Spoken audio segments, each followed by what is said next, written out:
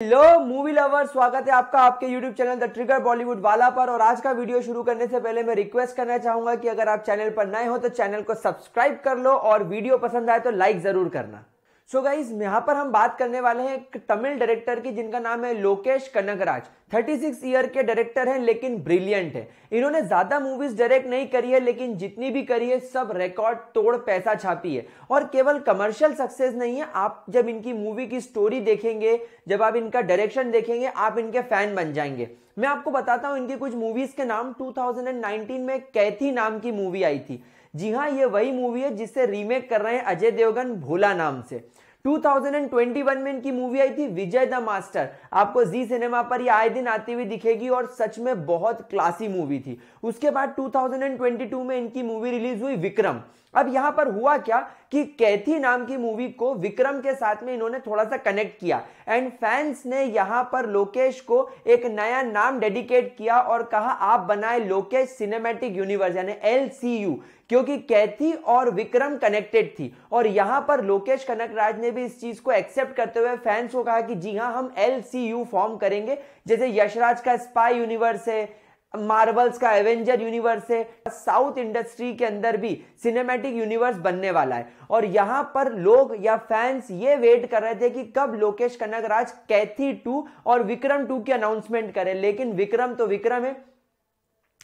नहीं सॉरी लोकेश तो लोकेश है। उन्होंने कहा कि ना तो आएगी कैथी टू, ना तो आएगी विक्रम टू, अब आएगी थलपति विजय की sixty seventh movie Leo bloody sweet के नाम से। अब यहाँ पर फैंस के अंदर तो मतलब तमिल फैंस के अंदर तो भूचाल मच गया क्योंकि थलपति विजय, जी हाँ ये वही एक्टर है जिनका यूट्यूब पर ट्रेलर आते ही लाइक्स के और व्यूज़ के रिकॉर्ड्स टूट जाते हैं। आप लिस्ट चेक कर लो कि इंडिया में वो कौन से ट्रेलर है जिनमें मैक्सिमम लाइक्स हैं। थलपति विजय की सारी मूवीज़ के नाम आएँगे। तो थलपति विजय का क्रेज तो अलग ही लेवल पर है और ये उनकी सिक्सटी मूवी है। अब इस मूवी का जब प्रोमो मेरे सामने आया तो जीनियस इसी को कहा जाता है। लोकेश एक प्योर जीनियस डायरेक्टर क्यों है मैं आपको बताता हूँ।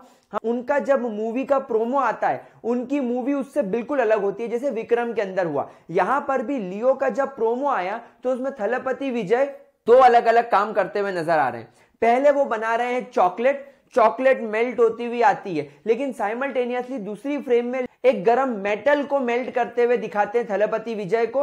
एक तरफ़ वो चॉकलेट्स बना रहे होते हैं तो एक तरफ़ वो तलवार बना रहे होते हैं। एक तरफ़ उनकी तरफ़ बहुत सारी गाड़ियाँ चल के आ रही होती है, बहुत ब्यूटीफुल सी लोकेशन में उनका घर होता है और दूसरी तरफ़ एक सांप उनकी तरफ़ चल के आ रहा होता है। सांप जैसे ही एक ट्रैप में फंसता है, वो ट्रैप बंद होता है और सांप की गर्दन कट के अलग हो जाती है। और दूसरी तरफ़ थलपति विजय अपनी तलवार के साथ खड़े होते हैं अपने दुश्मनों का गला काटने के लिए। तो इस तरीके से कुछ प्रोमो सामने आया है। मुझे ऐसा लगता है कि इसका मूवी से कोई खास लेना देना नहीं है। केवल थलपति विजय के कैरेक्टर को इसके अंदर समझाया गया है और उनका डायलॉग ब्लडी स्वीट मज़ा आने वाला है। तो टेक्निकली मेरे हिसाब से तो ये मूवी केवल तमिल जोन में 100 करोड़ का बिज़नेस तो पार करी जाएगी और जब ये पैन इंडिया लेवल पर रिलीज़ होगी तो क्योंकि कैथी और विक्रम की अच्छी खासी फ़ैन फॉलोइंग है, थलपति विजय की फ़ैन फॉलोइंग है, मैं भी पर्सनली उनका फ़ैन हूँ और लोकेश सिनेमेटिक यूनिवर्स यानी भाई साहब रिकॉर्ड तो टूटने ही वाला है। और ऐसा भी सुनने में आ रहा है कि लियो के अंदर विक्रम